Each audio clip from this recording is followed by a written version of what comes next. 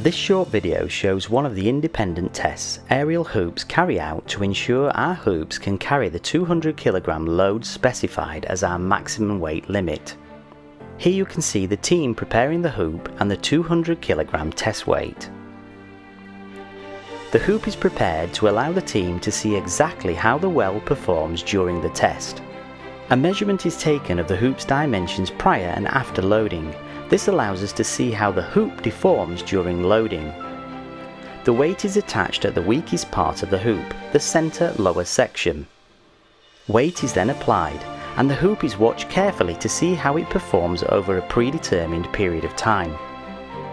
A special dye is sprayed onto the hoop. This allows the test team to see how the hoop's welded areas perform under load.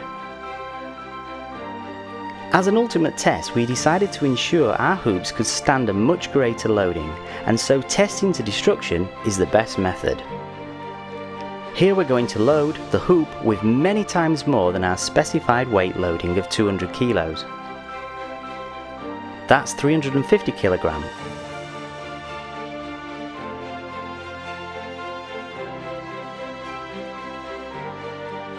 450 kilos.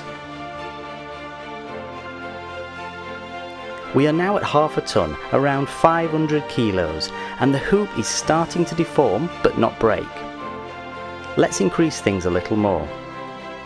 600 kilogram.